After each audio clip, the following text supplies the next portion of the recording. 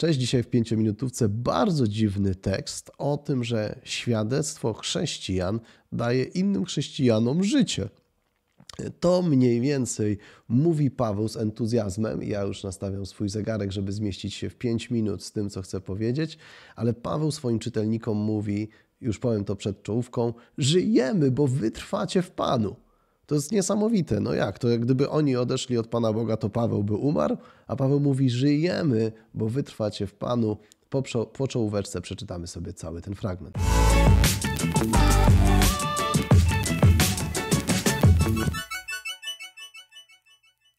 Paweł mówi o tym, że po pierwsze bardzo tęsknił do, do swoich adresatów, ciekawy był, co u nich słychać. Kiedy jego wysłannicy wrócili i powiedzieli, że mają się świetnie, to wtedy Paweł mówi, że przy wszystkich naszych cierpieniach i zmartwieniach, czyli jest w trudnej sytuacji, wieści o waszej wierze podniosły was na duchu. I to jest oczywiste. My wiemy, że świadectwo innych dodaje nam siły, dodaje nam skrzydeł i, i podnosi nasze życie. A potem Paweł właśnie używa tego mocnego sformułowania, które tak mocno y, przykuło moją uwagę. Teraz żyjemy, skoro wy trwacie w Panu. Jakże tu w pełni wyrazić wdzięczność Bogu za was? Jak podziękować za całą radość, której doznajemy z waszego powodu przed naszym Bogiem? I teraz chciałbym to odwrócić, bo sobie myślimy, tak, świadectwo innych dodaje nam skrzydeł. Paweł mówi, my żyjemy, ponieważ wy trwacie w Panu. Ale teraz odwróćmy to i zobaczmy to z perspektywy Tesaloniczan, adresatów. Oni mogą powiedzieć: Wow, Paweł żyje, bo my trwamy w Panu. Więc, więc to jest ważne, żebyśmy wytrwali. To, to jest ważne, żebyśmy my nasze życie przeżyli w posłuszeństwie Panu Bogu, w entuzjazmie, w radości, w przezwyciężeniu trudności, bo innym to daje życie. Więc o ile wiemy, że świadectwo innych wzmacnia nas, to też musimy być świadomi, że nasze świadectwo wzmacnia innych. E, że to nie jest tylko pisane z perspektywy autora do adresatów, ale można ten tekst przeczytać również z perspektywy adresatów, jak ich postawa umacnia i daje siłę apostołowi Pawłowi. Dlatego chcę tak e, zachęcić Ciebie do tego, żeby Twoje życie dawało życie innym poprzez Twoje świadectwo, żeby Twoje świadectwo wzmacniało innych, dodawało im skrzydeł, żebyś miał tego świadomość, że Twoje trwanie przy Bogu, Twoja wierność, Twoje posłuszeństwo dla ludzi wokół, dla mnie, dla, twoich, dla Twojego otoczenia, to dodaje nam siły, dodaje nam skrzydeł.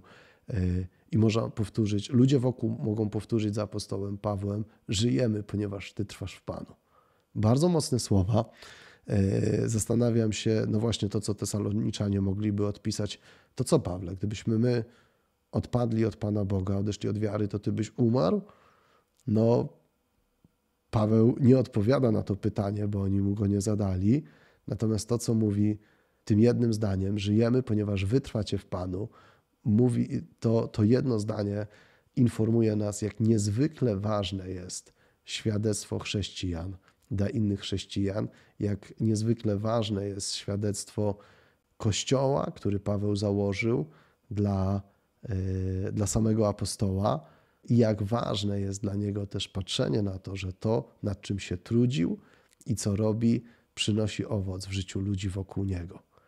Więc Twój owoc daje siłę i radość tym, którzy też trudzą się i wkładają wysiłek w to, żeby, żeby Ciebie zachęcić do życia z Panem Bogiem, żeby Ciebie wzmocnić. Czy to jest Twój pastor, czy to jest Twój ksiądz, y, czy to jest Twój lider Twojej wspólnoty, to Twoja droga za Jezusem dla Niego jest źródłem siły i radości i nie ma w tym nic dziwnego.